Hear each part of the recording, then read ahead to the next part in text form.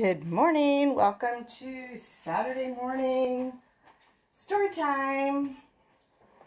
Today I'm going to read the book that started it all, uh, Jessie.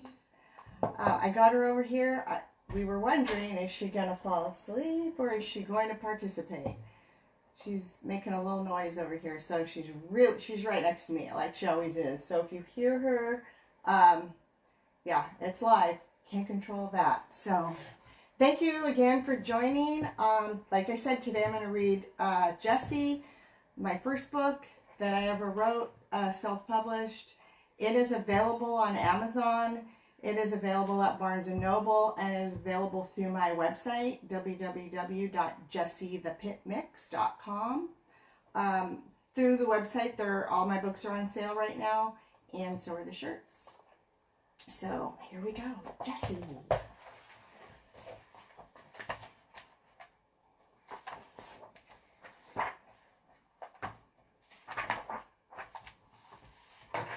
Hi, I'm Jessie. I'm a pit bull. I know, I know. Pit bulls are mean. Ha! Yeah, right. Well, I'm here to say you can't believe everything you hear. Enough of that more about me.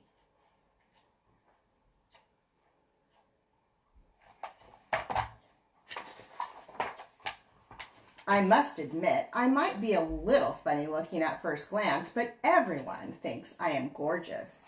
At least those that matter, and I happen to agree. My hair is soft and shiny and kind of short, definitely easy to manage. Can you imagine what those long hairs go through just to wash their hair?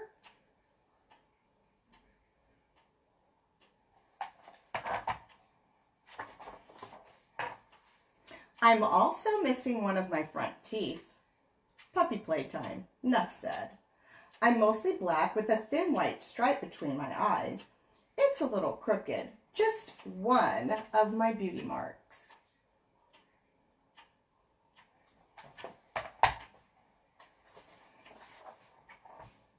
And I have a splash of white around my nose that curls down my chin and makes a cute little shape on my chest. My whiskers, now they are funny. On one side of my face they're white, on the other side black. I guess I'm lucky they're not green.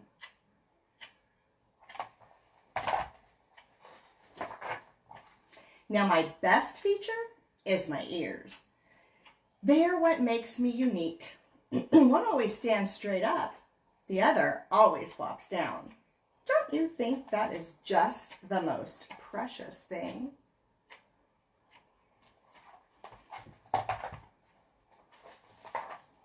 And I love to have my face petted.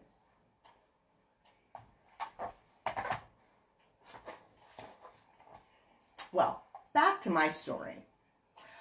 Wasn't always the light of mom's eyes. I used to live at a house where everything wasn't so nice. It was okay at first. I would play and jump on the couch and run around the kitchen.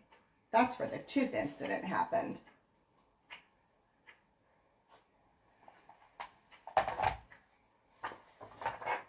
But as I began to grow, my people put a thick collar on me and tied me to a tree in the backyard even in the rain.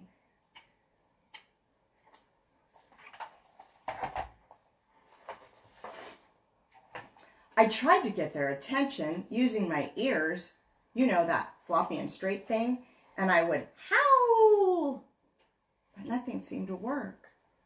It seemed like nobody wanted me anymore. I just sort of gave up. They never came out to play. They would never pet me.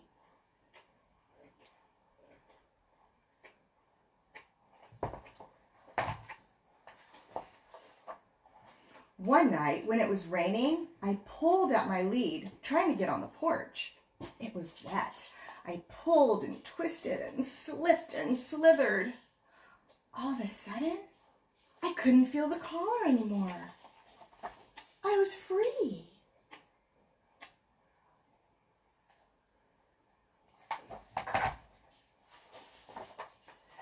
I scratched at the door, but no one answered. It was dark and cold. I looked around and ran along the fence. I found a loose board and pushed it with my nose. The board moved. I pushed a little more and the board fell off. Wow.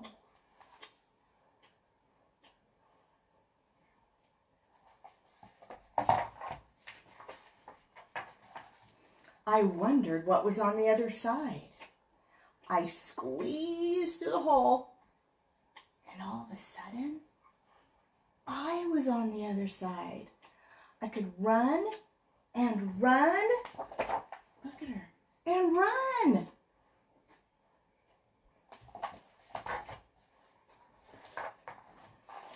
When I stopped running, I was in a strange place. It wasn't a backyard. In fact, it wasn't a yard at all. There were no fences, no collars, no people. It was huge with rows and rows of vines growing on big stumps with clusters hanging down. It was kind of scary.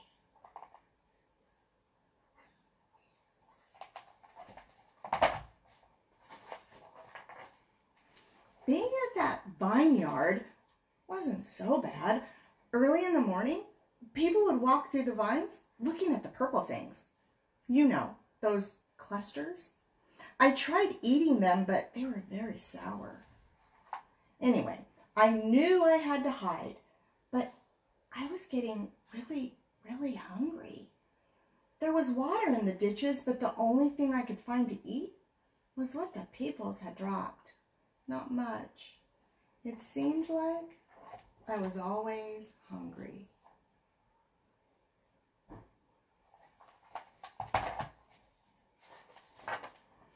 One day there was this person who kept calling me. Here, boy, here, boy. Can't he tell I'm a girl? Just look at me. Do I look like a boy? Anyway, he held out some food. It smelled like a chicken sandwich. Oh, did my mouth start to water. As I was eating the sandwich, he started to pet me. I didn't know how much I missed getting petted. I couldn't get enough. It felt so good. Hi, Jessie. Hi there. Be a good girl. I know, I know. The man took me to a place called a shelter. There were lots of dogs there. Big dogs, little dogs, old dogs, puppies, even some pit bulls like me. The peoples gave me a bath. A girl needs her beauty treatment and some water and treats. I like treats. They even petted my face. Those dogs at the shelter and Jessie getting pampered. After a couple of days at the shelter, a family walked between the cages. I don't want a puppy, I heard the lady say. Then they looked at me. We stared at each other. Something clicked. I knew these were my peoples. I had to have them. I wagged my tail. I smiled. I jumped up and down. I tried to squeeze through the cage to get close to them. Everyone in the family petted me. It felt so good.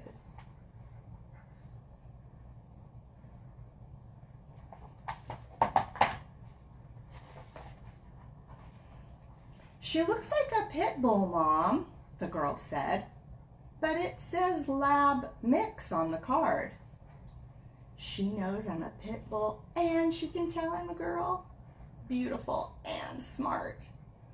You know your dogs, the shelter person said. She is a pit bull.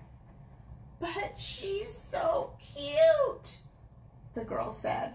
Look at her eyes. They sparkle. I put on my bestest smile. Aren't you a sweetie? Mom said. See I called her mom. There are a lot of them around, especially in the shelters, the helper person said. Christina, I think her name was. Pit bulls are normally very sweet and affectionate, just like any dog that is loved and cared for.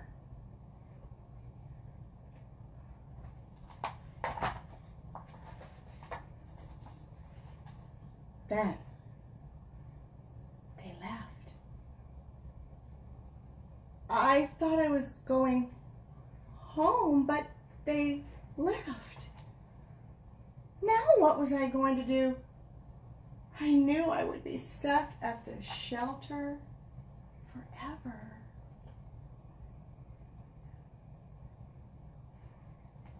Poor Jessie. Later that afternoon, there was a big commotion in the hallway. My family was back, and they brought all of their other dogs to meet me just to make sure. I get along with everyone, so of course they loved me. All the other dogs came to meet her.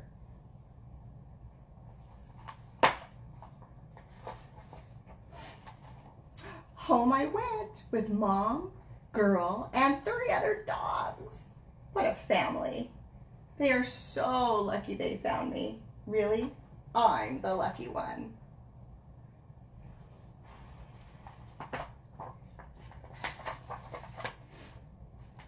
They took me to school where I learned to sit and stay and lie down.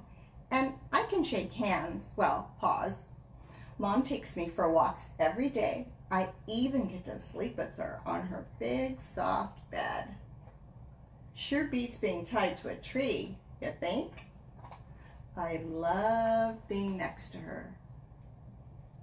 That's where she is right now, right next to me, petting her with my foot. Oh, Jessie. She tells me how pretty I am. She gives me treats and she tells me I'm a good girl. What more could a girl ask for? And you know what? Pets me. I love having my face petted. All right. So, Jessie's adoption story. If you have this book, you would know that besides bio and acknowledgments, I always include an informational piece about pit bulls and rescues. I also, in this book, included um, a treat recipe for um, homemade treats. And like I said, you could get this book through Amazon. You could get it through Barnes & Noble. You could get it on my website, www.jessiethepitmix.com. And through my website, they're all on sale right now. Um, let me get on the other side of the camera really quickly and I'll show Jessie. Just a really quick reminder, not sure where you're watching from, but here in Clovis and Fresno in the Central Valley, it's very hot right now and it's gonna be about 110 degrees today. So just a reminder, make sure those water bowls for your pets are full of water. Make sure there's a cool place they can get under a fan, um, inside, absolutely. Don't let them outside for longer than just a potty break or maybe a dip in the pool if you have a pool. All right, here we go. Let's show you some Jessie. Really? Are you going to sleep through this? Are you going to sleep through this? All right, here we go. Hi. Say hi to everybody. Say hi, I'm here. Good girl. Did you like story time today? Did you like your story? You gonna wag your tail? Come on, come on, you gonna wag? Good girl, good girl. And here's Tucker. Hey, Tucker. Hey, he's in the book too. Good boy, good boy. All right, thanks for joining. Have a great Saturday, everybody. See you next week for another book reading. Bye-bye.